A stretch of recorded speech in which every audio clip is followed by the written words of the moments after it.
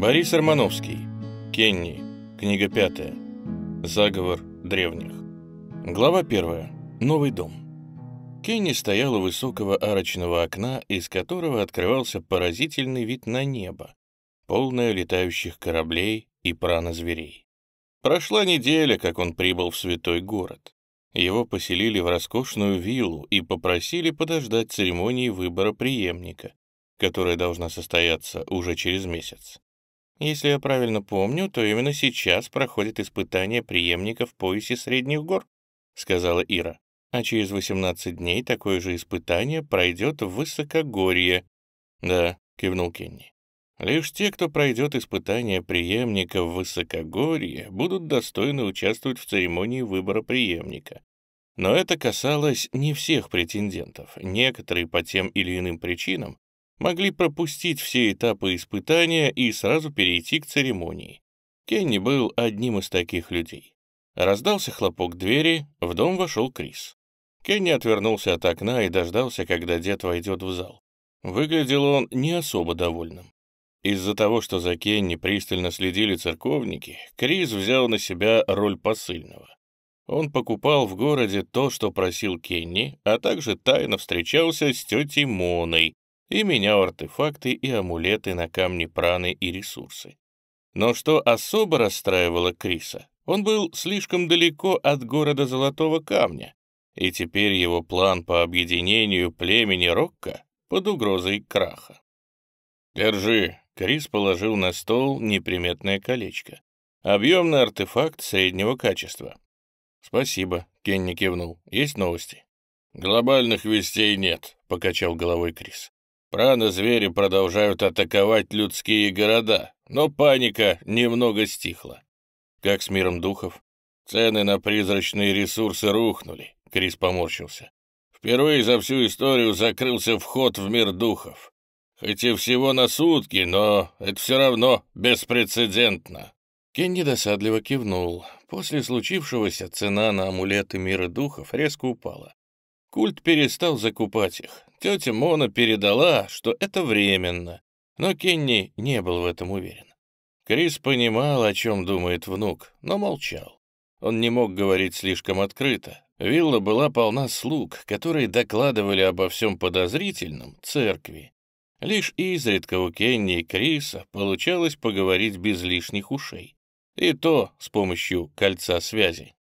«Как твои успехи? Получается куклу создать?» — перевел тему Крис. «Да», — Кенни кивнул, — «все идет гладко». Он взял кольцо со стола и надел его на палец. Кенни и Крис некоторое время смотрели друг на друга, а затем одновременно отвели глаза. Оба понимали, что не в состоянии что-то изменить. По сути, сейчас Кенни является пленником церкви, и он обязан делать то, что они говорят. Иначе последствия будут катастрофическими. Кенни был уверен, что у церкви есть свои пронарии с духовной праной, способные подчинять разумы людей. Его страшила мысль, что на него натравят такого пронария. Он только избежал опасности быть подчиненным третьим святым, и сейчас появилась новая. Были и другие возможности, различные артефакты, препараты и иные способы воздействовать на волю человека. Крис тоже все понимал. Поэтому дед и внук на виду не выказывали никакого недовольства. Они вели себя естественно, не собираясь предпринимать что-то против церкви. Во всяком случае, пока. Сейчас церковь трех святых относилась к Кенни как к одному из возможных преемников святого и сильно не давила. Единственное условие, которое Кенни должен был соблюдать, это не покидать виллу без сопровождения, что он и делал. «Пойду в лабораторию, продолжу работу над куклой», — предупредил Кенни. «Хорошо, я в город», — кивнул Крис. Кенни погладил кольцо, он уже изучил его и нашел внутри свиток. В нем Крис должен был расписать, что именно сейчас происходит в мире. Кенни отправился в свою лабораторию, она находилась в отдельном крыле виллы. Лаборатория представляла из себя несколько помещений со множеством прано-артефактов предназначенных для помощи в исследованиях. Многие из них Кенни увидел впервые, попав сюда. Ему пришлось немало времени потратить, чтобы изучить все артефакты и научиться ими пользоваться. Святой город раз за разом показывал Кенни, насколько сильна разница между ядром прана мира и тем захолустьем, откуда он прибыл. Лаборатория, наполненная удивительными устройствами, товары в магазинах столицы, настолько редкие, что приобрести их в долине холмов или даже области малых гор практически невозможно. Сила местных пронариев, тысячи великих генералов и сотни маршалов. Кенни принял эту разницу и пользовался новыми благами. «Фердинанд, как дела?» — спросил он, надевая белый халат. «Все так же», — равнодушно ответил прана-червь. Кенни кивнул и сел за свой стол. Он развернул свиток, который ему подготовил Крис, и внимательно его прочитал. Нахмурился. Новости не вселяли оптимизма. Миллионы прана-зверей покинули драконий хребет и хребет безумия и атаковали весь восточный горный покров. С запада на восток, с севера на юг и с юга на север три смертоносные волны разрушали все на своем пути. Больше всех пострадали дикие равнины, самая южная область горного покрова. Она была атакована сразу с двух сторон, с запада и юга. В диких равнинах и раньше было мало человеческих поселений. Но, судя по данным Криса, после волны прана-зверей практически все люди были убиты. Долина холмов пострадала не так сильно, но дело лишь во времени. Десятки поселений у западной границы уничтожены, и прана-звери не собираются останавливаться. Область малых гор и пояс средних гор также столкнулись с крупными разрушениями. Отдельно Крис описывал, как обстоят дела в высокогорье. Как и дикие равнины, самая сильная область горного покрова столкнулась с атакой монстров одновременно с двух сторон. С запада — драконьего хребта, и с севера — хребта безумия. Уже уничтожено четыре города, убиты несколько маршалов и десятки тысяч пронариев. Очевидно, что разумные драконы, которые возглавили атаку, направили сильнейший удар именно по высокогорью. Кенни окинул взглядом корявую карту, которую Крис зачем-то вставил в свиток. Покачав головой, Кенни убрал свиток и некоторое время хмуро обдумывал ситуацию. «Мне кажется, нам надо поторопиться», — пробормотала Ира. Кенни был согласен с ней. После того, как стало известно о проблеме в мире духов и нападении прана-зверей, он выбрал в качестве своей основной цели собственное усиление. Кедни хотел как можно скорее стать великим генералом, другими словами, создать три большие техники и сохранить их в источнике. Только когда Кенни станет великим генералом, Ира сможет выполнить план второй и подчинить мир духов. Святая не знала, успокоит ли это драконов, но была уверена, что если не поторопиться, ситуация станет еще хуже. Волна прана зверей — лишь первый акт трагедии древних. Кенни убрал свиток и пошел к задней части лаборатории. Там в специальных артефактных контейнерах лежали части его будущей марионетки. Торс, рука, нога — они имели грубоватые формы и небольшие размеры. Будущая кукла будет по бедро взрослому человеку, не более. Но Кенни потратил огромное количество камней праны чтобы собрать нужные ресурсы. Хватило бы на десяток артефактов, подобных молоту Тора. И этот факт вводил Кенни в уныние. «Осталось не так много», — подбодрила Ира. «Еще три части, и кукла будет готова». Благодаря многочисленным искрам, которые Ира поглотила, она стала гораздо сильнее в мире духов. Сейчас Ира могла одна сражаться против элитных призрачных, ей не требовалась группа. Она уже собрала немало призрачных камней и искр, которые в теории могла обменять на реальные ресурсы. Но Кенни решил пока не торопиться. Сейчас цена на призрачные ресурсы слишком низка. Лучше подождать, когда паника немного уляжется и экономика нормализуется. Кенни хрустнул костяшками и приготовился продолжить работать над куклой. Он наклонился над рабочим столом и замер. С его носа капала кровь. Кенни, непонимающе, коснулся верхней губы и посмотрел на пальцы. И правда кровь. Но почему? Он запрокинул голову и дотронулся до браслета, чтобы вытащить оттуда вату. «Что с тобой?» — тревожно спросила Ира. «Не знаю, просто кровь пошла». «Странно. Это же ненормально, да?» Кенни не стал отвечать. Он был пранарием, его тело наполнено праной. У него не может просто так пойти кровь из носа, такого не бывает. Разве что его отравили или атаковали каким-то другим способом. Некоторое время Кенни потратил на то, чтобы проверить себя разными артефактами. Но он не нашел даже намека на внешнее вмешательство, его никто не травил. «Не нравится мне это», — пробормотал Кенни. Кровотечение оказалось пустяковым и быстро закончилось. Но сам факт, что у него пошла кровь из носа, сильно встревожила Кенни. «Может, ты перенапрягся? Давай ты будешь больше отдыхать», — с волнением предложила Ира. Кенни покачал головой. Чутье не позволило ему просто отмахнуться от кровотечения. Оно твердило, что это очень серьезно, но Кенни не понимал, что ему делать. В итоге, тщательно все обдумав, он решил на время забыть о случившемся и заняться своими делами. Кенни очень надеялся, что это единичный случай, и кровь из носа не превратится в проблему. Хотя внутренне он сам не верил, что все будет так просто. Глава вторая. В лаборатории. Кенни сидел за своим рабочим столом и готовился к созиданию. Сперва он подал прану в стол, и тот слабо засветился. Весь стол — особый артефакт, который ускоряет созидание и облегчает весь процесс. Зарядив его, Кенни вложил в специальную выемку несколько пранокамней. Затем взял тюбик с особой мазью и увлажнил ею ладони. Эта мазь тоже упрощает созидание, облегчает выпуск праны через ладони и помогает быстрее сконцентрировать ее. Закончив с мазью, Кенни надел специальные очки. Несколько секунд он держал глаза открытыми, чтобы линзы наладили связь с мозгом через глазные яблоки. Очки помогали с визуализацией и были очень полезны при созидании. Несколько секунд Кенни сидел и моргал, привыкая к новым ощущениям. Затем он достал коробочку с таблетками и закинул одну в рот. Она тоже облегчала созидание. Последний штрих. Кенни высыпал перед собой несколько кучек песка. «Можно начинать», — пробормотал он. Расположив руки над столом ладонями вниз, Кенни направил в них прану.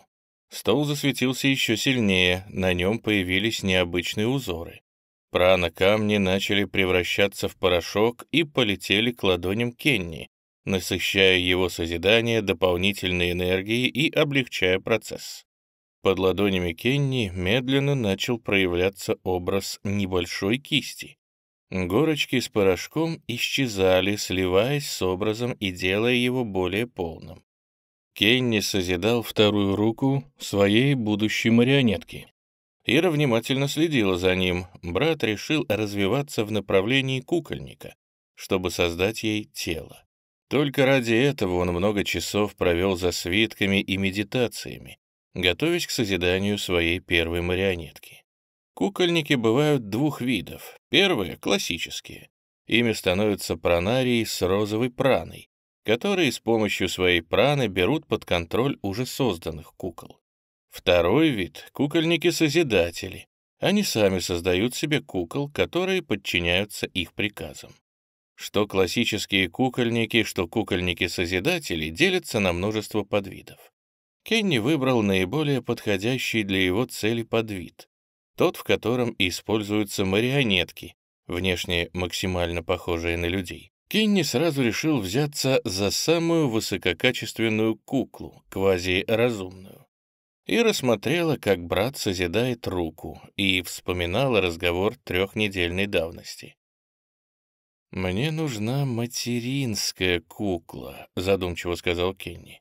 Он сидел в своей старой лаборатории в городе Золотого Камня и просматривал снимки, которые получил после сделки с Марианеллой.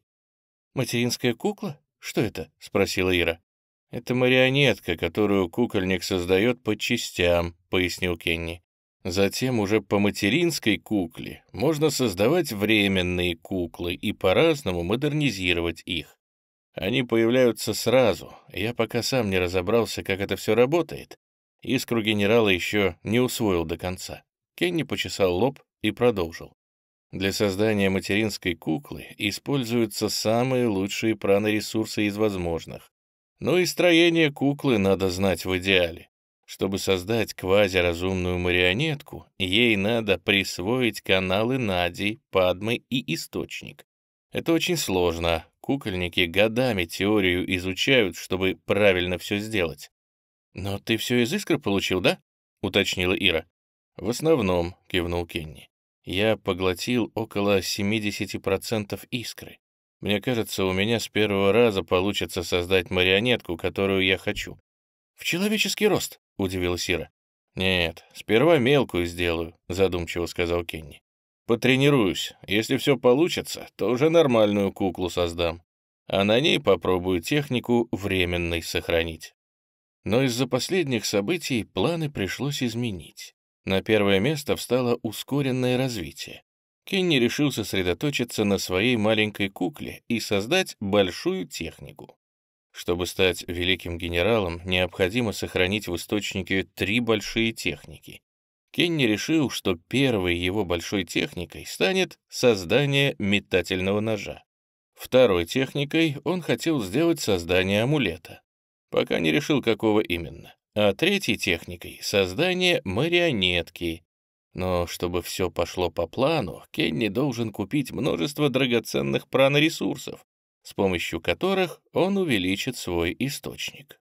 «Закончил», — пробормотал Кенни, убирая руки. На столе лежала вторая рука куклы, такая же грубоватая и небольшая. Кенни ее аккуратно поднял и посмотрел на срез плеча. В нем легко угадывались поперечные сечения каналов Нади, голубые точки. Позже Кенни создаст специальный шарнир, с помощью которого скрепит конечность с торсом. Рука марионетки заняла место в специальном контейнере. «Завтра сделаю ногу», — задумчиво сказал Кенни, рассматривая свое творение. «А затем уже займусь головой, Голова марионетки — самый важный элемент. Именно в голову надо поместить ядро. Или по-другому — квазимозг. Этот элемент является самым ценным элементом в кукле. Кенни смог узнать способ его создания лишь благодаря искре генерала. И то он не был уверен, что до конца понял, как именно ему надо созидать этот артефакт. Закончив с куклой, Кенни проверил прано-червей. В святом городе он перестал использовать червя-матку и свою кровь. Кенни наблюдал за теми образцами, которые сделал ранее. Фердинанд помогал в этом нехитром деле. На следующий день Кенни смог с первого раза создать ногу для марионетки. А еще через день сел созидать голову. Для начала требовалось создать основу, квазимозг, а уже вокруг него череп, и все остальное. Кенни достал из кольца небольшую коробочку и аккуратно открыл ее. Внутри лежал порошок, от которого исходил слабый голубой свет. Этот порошок — главный ингредиент для создания квазимозга. Его делают из высушенной разумной медузы, очень редкого пранозверя, который можно найти лишь на южном архипелаге. Сперва Кенни сделал заказ у Марианеллы, но культ святого вора отказался искать разумную медузу. После Крис начал ее поиски по своим каналам в городе Золотого Камня. Но и там ждала неудача, слишком редкой оказалась разумная медуза. Найти желаемое удалось в святом городе, когда Крис более-менее обвыкся и получил жетон культа святого вора. Тетя Мона дала его Крису, чтобы он мог безопасно выходить с ней на связь. Благодаря жетону Крис узнал, где и за сколько можно купить разумную медузу. Ее продавал один чудак, торговец редкими товарами. Кенни аккуратно высыпал порошок на стол, затем он зарядил стол праной и вложил в него столько камней праны, сколько смог. После этого высыпал на стол еще четыре горки порошка. Две горки темно-серые и две желтые. Они лежали вокруг голубого порошка. «Начинаю», — прошептал Кенни и расположил руки над столом. Прана вышла из его ладони и сформировалась в шарик. Голубой порошок начал медленно поглощаться, а вслед за ним в шарик полетела пыль из камней праны.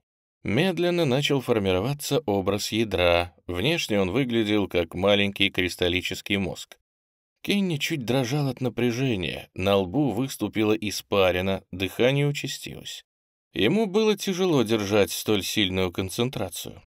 Созидание чуть не прервалось, когда на стол капнула кровь. Зрачки Кенни расширились, большой палец едва заметно дернулся. Но на этом все закончилось. Кенни взял себя в руки и перестал обращать внимание на капающую кровь, полностью сосредоточившись на созидании. Ира тоже едва сдержалась, чтобы не вскрикнуть. Она очень переживала за брата и не знала, как ему помочь. Все ее надежды, что прошлое кровотечение было единичным случаем и ничего не значило, угасли. Кенни позволил себе выдохнуть, лишь когда квазимозг был создан. Но затем пришла очередь каркаса, самой головы. Все четыре горки порошка начали понемногу исчезать, а вокруг квазимозга проступил образ небольшого шара. Вскоре шар изменился и начал материализовываться, принимая вид головы. Не прошло и пяти минут, как на столе лежала голова марионетки. Человек с земли мог легко узнать в ней щелкунчика. Именно по его образу Кенни создавал свою куклу. «Закончил», — до конца не веря в успех, пробормотал Кенни. «У тебя снова кровь пошла», — тоскливо сказала Ира. «Да», — Кенни спешно занялся носом. Надо что-то с этим делать. Процесс созидания был на волоске от срыва. «Может, спросить у тети Моны?» — неуверенно предложила Ира. «Надо подумать», — рассеянно ответил Кенни, разглядывая голову куклы. Ему не верилось, что он закончил самую сложную часть.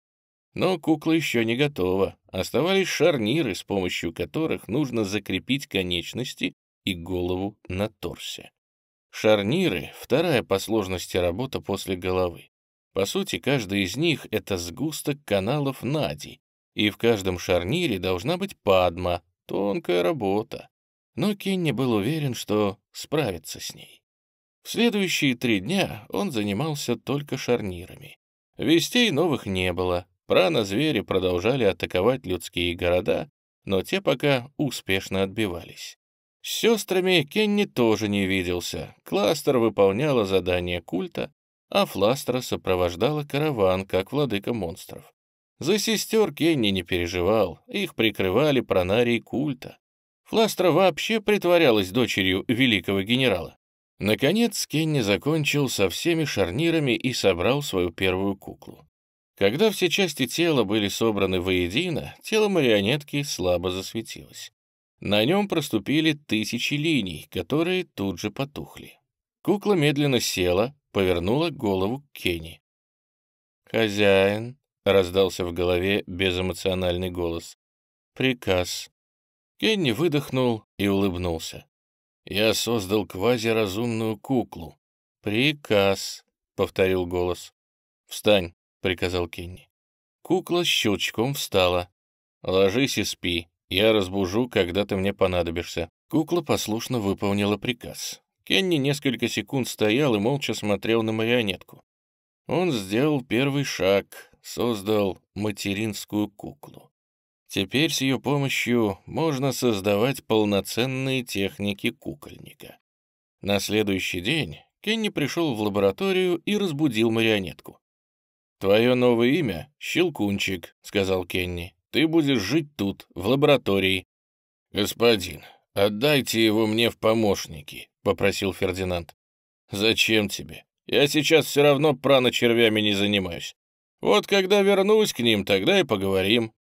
Не слушая ворчания Фердинанда, Кенни обратился к Щелкунчику. «Сейчас я наполню твое тело праной. Не двигайся и ничего не предпринимай. Стой ровно». Кукла щелкнула челюстями, соглашаясь. Кенни приступил к делу. Он приложил обе ладони к вискам марионетки и начал вводить внутрь куклы прану. На теле щелкунчика засветились полосы, но Кенни не обратил на это внимания. Он дождался, когда тело куклы будет до краев наполнено праной. Затем приказал «Помогай в созидании». Кенни убрал ладони от головы щелкунчика и расположил их перед куклой. Из его ладоней вырвалась прана и закружилась в вихре. Полоски на теле щелкунчика засветились еще ярче, испуская практически невидимую пыль. Эта пыль втягивалась в вихрь праны, она играла решающую роль в создании временной куклы. Кенни не нужно было созидать каждую часть куклы отдельно. Он создавал сразу всю куклу, точную копию щелкунчика.